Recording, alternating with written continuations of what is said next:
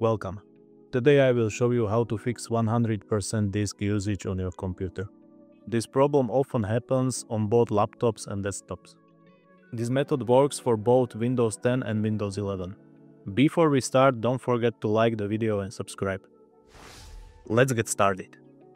First, press Windows R and type services.msc. In the services window, look for sysmain. If you don't find it, search for Superfetch instead. This service helps programs open faster, but it can cause high disk usage by keeping space for apps you use often. Now I will show you how to disable it. Right-click on Sysmain or Superfetch and select Properties. In the startup type, select Disabled.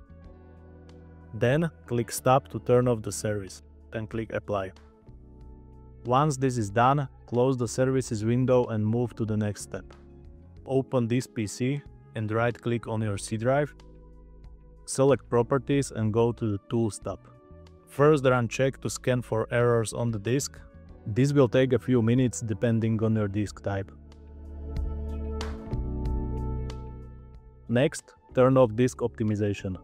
Click on Optimize and if it's turned on, uncheck it. Disabling this will help improve disk usage.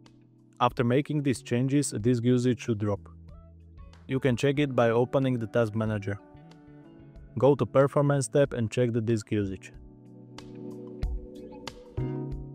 Finally, in the Task Manager, go to Startup tab and disable programs you don't need automatically.